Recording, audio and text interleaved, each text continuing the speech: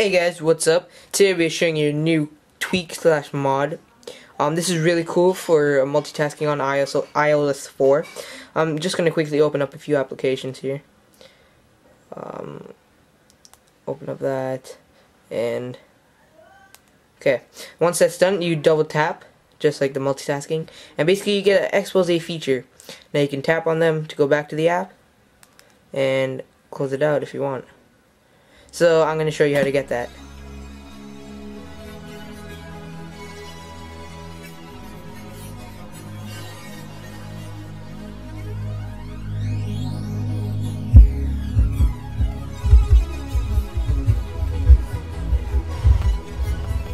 Go and tap Insidia.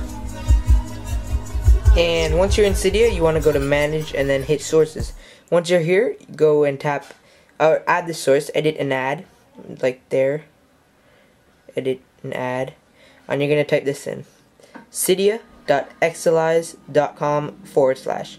It'll also be in the description down below so be sure to check that out.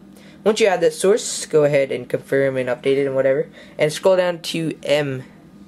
Once you're down to M go and search for the thing called multiflow.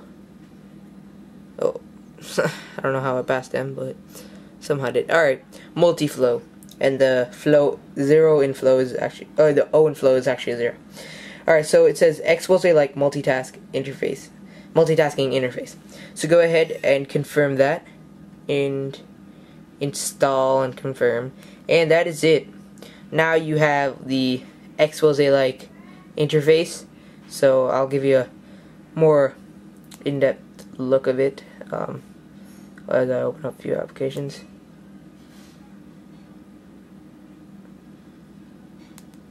Alright, so now I'm gonna double tap and there's three screens multitasking right now. I can go back to this and go ahead and go back to messages and that's it and I can even close them out. So that's about it guys. That's how to get a nice multitasking interface on your iPhone 4 or iOS 4. Thanks for watching. Comment, rate, and subscribe. Peace.